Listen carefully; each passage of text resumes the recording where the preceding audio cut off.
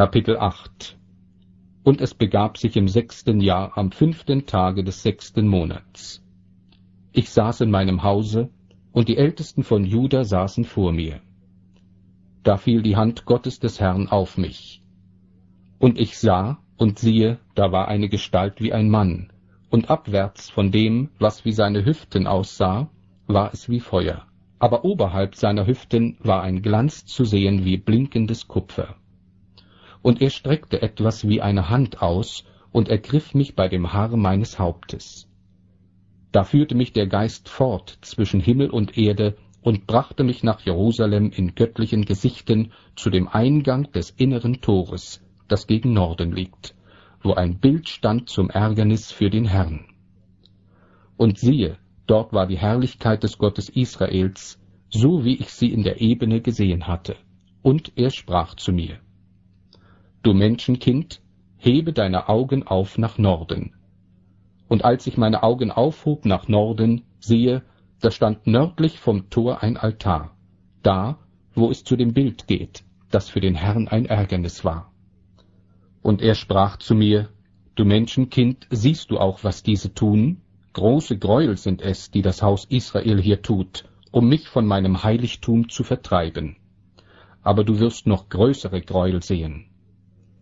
Und er führte mich zur Tür des Vorhofes. Da sah ich, und siehe, da war ein Loch in der Wand. Und er sprach zu mir, Du Menschenkind, brich ein Loch durch die Wand. Und als ich ein Loch durch die Wand gebrochen hatte, siehe, da war eine Tür. Und er sprach zu mir, Gehe hinein und schaue die schlimmen Gräuel, die sie hier treiben. Und als ich hineinkam und schaute, siehe, da waren lauter Bilder von Gewürm und scheußlichem Getier und allen Götzen des Hauses Israel, ringsumher an den Wänden eingegraben. Davor standen siebzig Männer von den Ältesten des Hauses Israel, und Jaasanja, der Sohn Schaphans, stand mitten unter ihnen. Und ein jeder hatte sein Räuchfass in der Hand, und der Duft einer Wolke von Weihrauch stieg auf. Und er sprach zu mir, Menschenkind, siehst du, was die Ältesten des Hauses Israel tun in der Finsternis, ein jeder in der Kammer seines Götzenbildes? Denn sie sagen, der Herr sieht uns nicht, der Herr hat das Land verlassen. Und er sprach zu mir, Du sollst noch größere Gräuel sehen, die sie tun. Und er führte mich zum Eingang des Tores am Hause des Herrn, das gegen Norden liegt, und siehe, dort saßen Frauen, die den Tammus beweinten. Und er sprach zu mir, Menschenkind, siehst du das? Aber du sollst noch größere Gräuel sehen als diese. Und er führte mich in den inneren Vorhof am Hause des Herrn.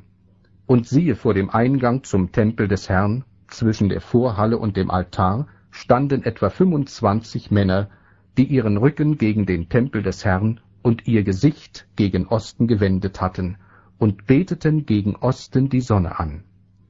Und er sprach zu mir, Menschenkind, siehst du das? Ist es dem Hause Juda nicht genug, diese Gräuel hier zu treiben, dass sie auch sonst das ganze Land mit Gewalt und Unrecht erfüllen und mich immer wieder reizen? Und siehe, sie halten sich die Weinrebe an die Nase. Darum will ich auch mit Grimm an ihnen handeln, und mein Auge soll ohne Mitleid auf sie blicken, und ich will nicht gnädig sein. Wenn sie auch mit lauter Stimme mir in die Ohren schreien, will ich sie doch nicht hören.